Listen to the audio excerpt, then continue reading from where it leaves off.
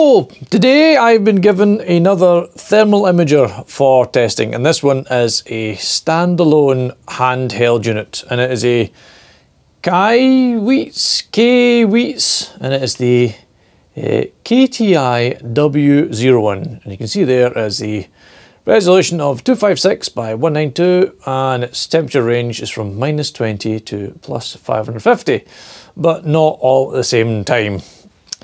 Now is a solid plastic body. It doesn't feel too bad. I think it'll...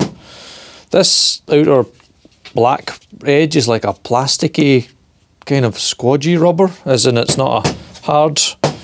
The red stuff's a bit of a hard plastic. The black stuff will probably survive a bump or two. Uh, there's no visible screw holes, so Taking it apart would be a challenge. I imagine it's going to be poppy plastic, but we're not going to do that today because we need it to work. Uh, although under this front handle, if you push it up and out, is a 18650 rechargeable battery. It's replaceable, which is nice. Under the, under the flap is the thermal imager itself and the visible light camera. Right, let us turn it on. Turn it on, uh, press and hold the power button and it boots up. Wait, did I open the flap? No, I need to open the flap so that it works.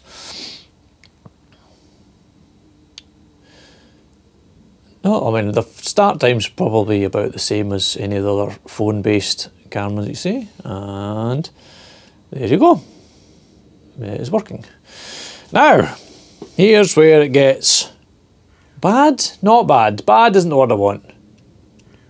Not just as user-friendly as I would like uh, the up and down buttons just seem to make the minimum and maximum temperature turn on, on and off down the bottom there. That's about it. Left and right, on the other hand, cycles through the visible light modes. So that's temperature, temp display temperature, but just using the visible light camera. And then if you go through them, it goes for a little bit of mix between infrared and visible, a little bit more infrared, a little bit more infrared again, and then pure infrared and no visible light whatsoever. And some of these are just reflections of things and not actual heat. There's my hand. There's my hand. There's the hot bit of my hand.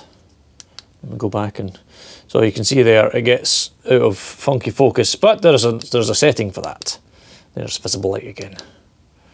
Right, so if we go back to that one's probably pretty good thing. Now, in the menu, this is where all the excitement happens. So menu, and then up and down, the image correction, that's for how far away your thing is, your, you know, your, if you're going to do distance. It does reset, honest, it does correct the, if you could be watched, generally not going to be that close to things, that's too far the other way. There you go, you can see it line up. There we go, lines up there if you're going to be, obviously now if you go too far away, it's too far away. But yes, that's what that does. And then you can set it. But, uh, right, menu again. And then, for obviously, should be fairly explanatory. Photos and videos would take you into the gallery so you can view uh, videos that you've seen or taken or mine are in there, we don't need to see them. Let's go back. Color palette is, okay, here's an annoying thing on the menu. Uh, so you would think that the right button would take you over to the right. It doesn't. You have to press enter to select the next bit of the colour palette. No, there's many to choose from. There's just the cool, the spectrum, the black and white, and the standard iron. Pressing enter would select it. Go back. Emissivity, as, as you've guessed, is choosing your uh, surface, whether it's a standard 0.95 of a matte, semi-matte, semi-glossy, glossy, or your own, whatever you want to put in there. And in the settings settings, there's just things like auto shutdown for how long mine, I've set mine to never turn off. It's just gonna do its thing. Brightness, language, temperature. Temperature range. So while on the side it says minus 20 to plus 500, it does have ranges. So the lows from minus 20 to 120 and then from 120 to 550. So it can't do the full temperature range in one go. You have to select between the two settings and it doesn't automatically switch like some of the other uh, uh, infrared cameras. Uh, that's just the spot temperature in the middle, turn it on and off, and the version just shows you which version of firmware on. I haven't seen any firmware updates yet, I haven't been given any. But yeah, that's that's about it. It's doing its thing. Now, the other button is the trigger button. Now, if you press it once, it will take a picture. No, someone's at the doorbell. Someone's at the driveway doorbell. Well, better go and see who that is. One Temu package, package later. I missed it when they were all orange. I liked orange, funnily enough, it matched me. Anyway, where was I? Yes, the button. That's for taking the pictures. Ah, store photo, no. I wish there was an option where you could turn off the question. Like, if I wanted to take a series of pictures, I would like to go bang, bang. Oh wait, that does work. Sweet. I didn't know pressing the trigger button made it take a picture and store it. Yes. Excellent. That's going to save a lot of uh, messing about. There's rough touch the bag. That's handy. We're not going to be full of photos. Smashing. Right. Uh, back to this button again. If you press and hold, it starts a video. Pressing, holding, start recording. Yes. Ah, that's better. Then record a video. I'm not sure what the uh, frame rate of said video is, but at least I can adjust all these things on the fly. Nice. I like that. Oh, I've just noticed though, wait, can you see on, I'm going to put it on screen and on the camera, but the hot temperature, wait, oh, come over here. I'll put it on screen and can you see the red one that's flicking about? Well, if you put it on something red, you can't read it. That needs a black outline or something, or a shadow, or look, you can't even see that. You'd have to go through the and take it right down before you can see the. That's annoying, especially when it's the hot bit they want to see, not the cool bit. Yeah. Okay, right, and then I should be able just to click the button to stop the video. No? Long press to stop? Long press to stop. Okay, so that stops the video. But yeah, um, I can hear a bee. Oh, I saw my first bumblebee the other day. That means it must be the nice weather time. Eh, what did the spec? I haven't got the spec things with me, but I'm sure it's got a 32 gigabyte memory inside, and it's got USB-C connectivity for charging and downloading the pictures. When you plug it into your computer, stored inside it on its memory card, there's also a program for editing and reviewing your thermal images and videos so you can edit them, upload them, and take out detail and things from them.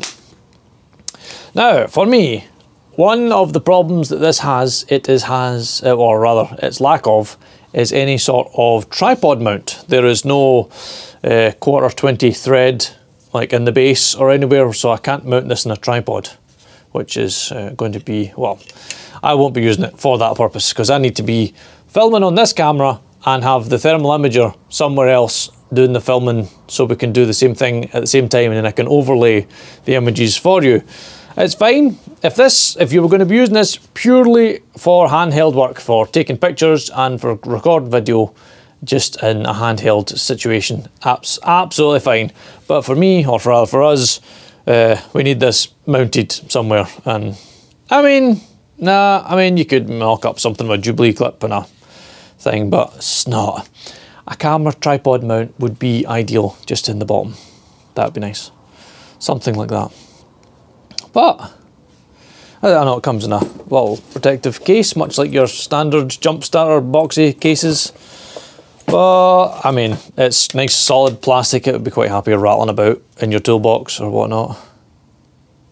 Yeah, I mean, it, it does the thing. It does the thermal imaginess. Let's let's get something hot, shall we? Let's make a hot thing, and then I'll show you the temperature ranging ness of it. Nah, there's no point it off. Right, let's get something steel, a bit of steel, how about that? See, well, this is going to be a problem. I would like to heat that steel up and film it at the same time. Um, should also probably adjust the image position. Menu, image correction, and then we'll just, which way are we going? The other way. That way a little bit. No, that's made it a lot worse.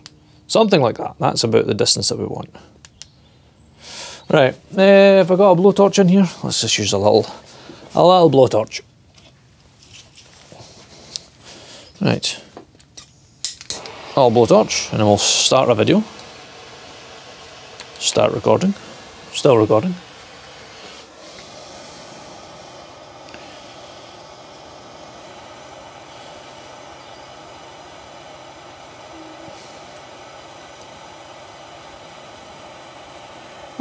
See that right so hope that's what I was hoping to see. See where it says there over.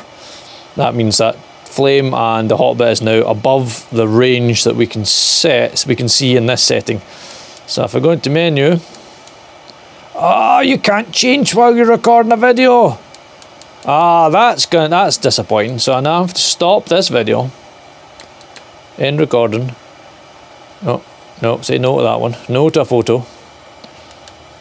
And then go into menu and go to settings, press enter, temperature range, temperature range, enter, change it to high, enter, go back.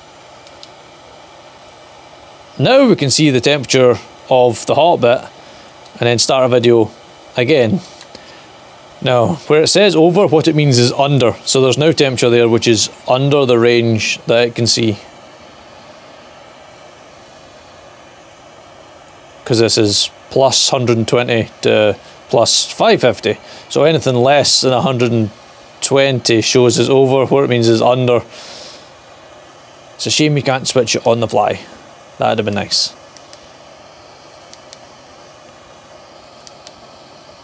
But these are just small problems. Now let's finish that video, end recording, smash it.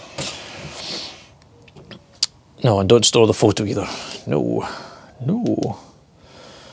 But yeah, so apart from having to manually adjust the temperature range every time if you want to go low or high,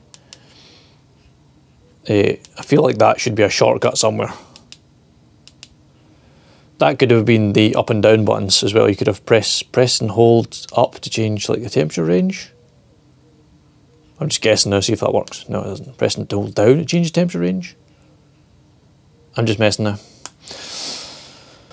Well, that was the Kaiweets uh, KTI W01 handheld thermal imager.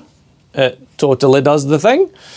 It uh, does videos and pictures of thermal objects. Powering off. Four, three, two, one. It's got a nice box 11.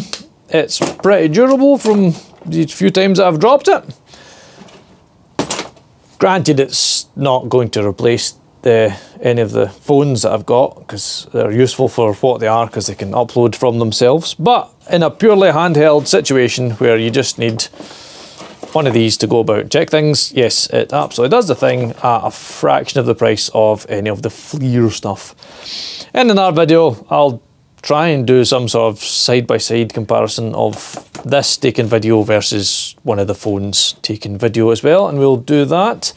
But that'll do us for today. So any comments, questions, anything like that, leave them down below and I'll try my best to answer them. And as always, thanks for watching.